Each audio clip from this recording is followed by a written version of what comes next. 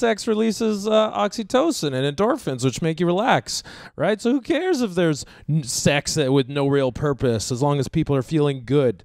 Don't you think everyone should be having sex anyway, so they're not stressed out, stressed out douchebags? No, I think that our bodies are our temples, and we shouldn't give them so freely out to other people just to be used. Like we want to be respected for like who we are, and there's more to ourselves, and we could always self pleasure ourselves if need be. really? But what about the so the endorphins is part of the temple, right? Again, we have to release those.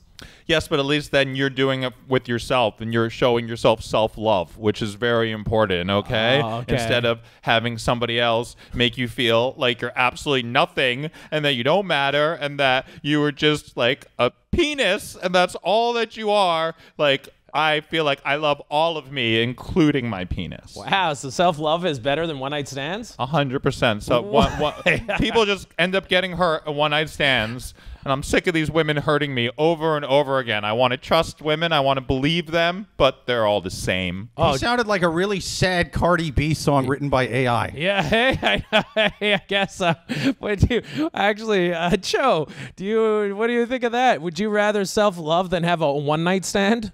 What? No.